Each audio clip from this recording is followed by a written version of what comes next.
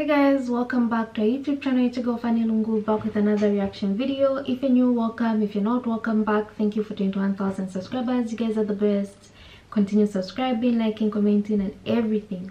Um, thank you very much for supporting us. Please continue to motivate me by giving me stuff to react to. I will appreciate. Just drop the name on the link down below. I'll be more than glad to react to it. So today, I'm going to be reacting to um five things you should do every day. Omar suleiman motivation islamic lectures. Um so without wasting time let's get into the video.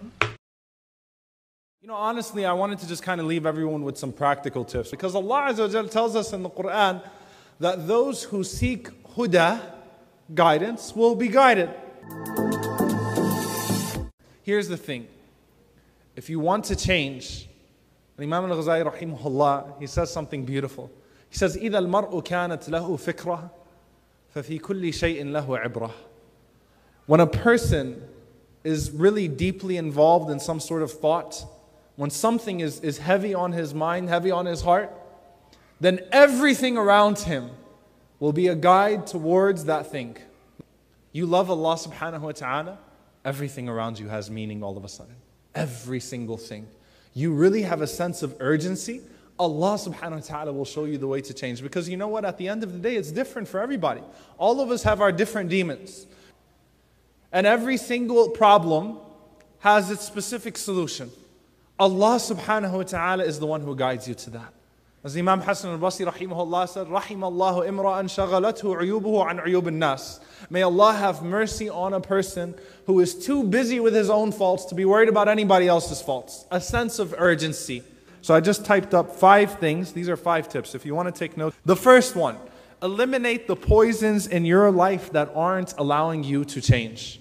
And essentially what that teaches us is that the Prophet ﷺ, he taught us about this heart, this qalb, Imam al-Qayyim rahimahullah, he says what? Your qalb is a space. You fill it up with you fill it up with anything else, you're not going be, you're not going to have any space for Allah subhanahu wa ta'ala in there. The problem is not the qiyam. The problem is that you're doing the things that will stop your qiyam from being accepted. The problem is not your dua. The problem is what you do after dua and before dua. That's the problem that you're having. Eliminate the stains from your life, and then you would find that you naturally would start to come close to Allah subhanahu wa ta'ala because once your heart becomes clean and honest, your heart starts naturally inclining towards Allah subhanahu wa ta'ala. Your fitrah is to incline towards Allah subhanahu wa ta'ala. So eliminate the things that corrupt your fitrah. Number two, an ounce of prevention is better than a pound of cure. You know, some people, subhanAllah, they wait for really, really, really bad things to happen. They wait to see the consequences of their sins before they change those things. An ounce of prevention is better than a pound of cure. What happens is that shaitan claws you, he digs you into this hole, or you dig yourself into this hole. It's a lot harder, harder to climb out of that hole than to have taken care of it in the first place.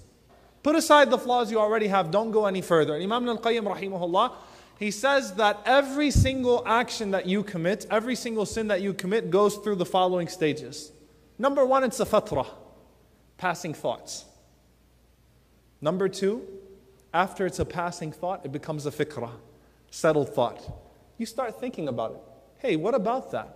After I've entertained the thought enough, shaitan has told me about how great the benefits of this action are going to be. And essentially, we commit sin because we think that it's going to serve some sort of benefit to us. We think it's going to give us some sort of pleasure. And it usually does for a temporary time. Then it becomes a niyyah. I have the intention to commit that sin. After I have the niyyah, the intention to commit that sin, once I've made the intention to commit something, nothing's going to stop me. Then it becomes azimah. I'm determined to commit that sin. No matter what stops me. Right? At first, I was very hesitant. Now I'm full force. And that's why once you have azimah, it becomes amal. It surfaced, it became action.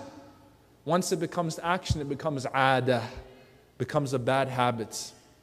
Once you have a systemized sin in your life, Trust me, that will kill your dua, that will kill your salah, that will kill your, uh, your opportunity to get close to Allah subhanahu wa ta'ala. That's why from the dua that we, that we make, Allahumma naqina min al-dhunubi wal-khataya allati takbisu al-dua, wa naqina min al-dhunubi wal-khataya allati tanzilu al-bala. We ask Allah subhanahu wa ta'ala to purify us from the sins and from the mistakes that cause our du'as to be cut off and that caused the anger of Allah subhanahu wa ta'ala to descend upon us. Rasulullah tells us that at one point you become defined by your sin. Just like at one point you become defined by your good deed. In Bukhari, the Prophet said that a person would tell the truth so much, he would be so truthful, حَتَّى يُكْتَبَ عِنْدَ اللَّهِ صِدِّيقًا Till he's written with Allah subhanahu wa ta'ala as a siddiq. Not that he told the truth one time. This is a truthful person. This is someone who's truthful in his faith. And then a person would lie so much, not that he told a lie here or there, until he's written with Allah subhanahu wa ta'ala as a kadhab. Your name with Allah is a liar. Subhanallah. You become defined by your traits, you become defined by your deeds. Number three. Anyone ever heard of the acronym KISS? Keep it simple sunnah. Keep it simple sunnah. We can all agree upon that. Rasulullah tells us that when a person goes to his grave, but when you go to your grave, what are the things that you're praying for? What are the things that you miss? What do you really want? He would come back and wish he could just offer two rakas. Just two more rakas. So that Allah subhanahu wa ta'ala might forgive him with those two rakas. Find something small in your life that you're capable of doing and stick with it. Eventually that will accumulate. Eventually that might be the cause of you entering into Jannah. That's why the Prophet ﷺ said, what as Aisha radiallahu anha narrated, that the most beloved actions to Allah subhanahu wa ta'ala, adwamuha, and qalla. You know, the most consistent of them, even if they're very, very, very small. How much time do you waste of your life that you could be planting trees and palaces in Jannah? That's changed. Keep it simple, sunnah.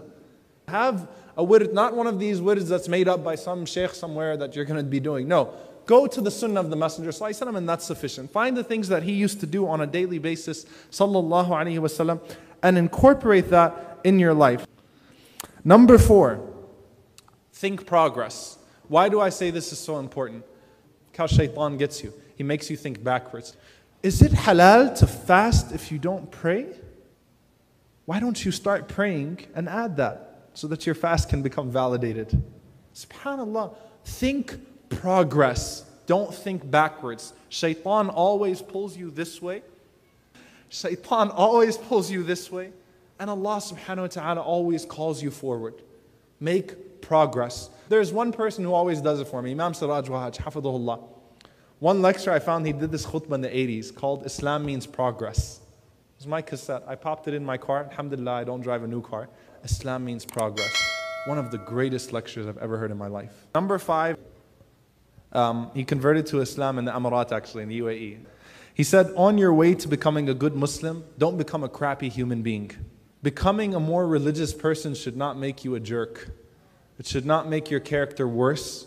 It should not make you more condescending towards people. It should make you, make you more humble. It should make you more loving. It should make you more compassionate. It should make you more caring. You know, subhanAllah, Rasulullah tells us what? What's going to be judged on the day of judgment? Your khuluq. That's the heaviest thing. That's the heaviest thing. Your character. And when you have nasty manners, that is a reflection that on the inside you are actually devoid of iman. We look at the woman who the Prophet ﷺ mentioned, who prayed a lot of prayers, fasted her fast, did all the rituals, did all the good things. But she was abusive to her neighbor. Rasulullah said, La khayra fiha hiya fin nar. There is no good inside of her, she's in hellfire. There is nothing inside of her that's good. Hiya finnar. All of that was, was superficial. What really counts is when your inner beauty changes. That will reflect with your outer beauty too. And that's why Rasulullah taught us when we look in the mirror, we say, Allah, we ask Allah for change every time we look in the mirror. When you change your clothes, you ask Allah for a different type of change. What do you say? Allahumma kama ahsanta khalqi, the way you beautified my appearance. You know, you gave me these clothes. You allowed me to change into this new pair of clothes. You created me, you know, with, with some form of symmetry. What do you say next?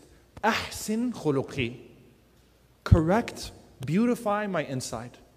So we ask Allah subhanahu wa ta'ala to make us amongst those who experience real change, who search for guidance and who are guided by His mercy. Allahumma ameen. جزاكم الله خيرا أقول قولي هذا واستغفر الله لكم والسلام عليكم ورحمة الله وبركاته.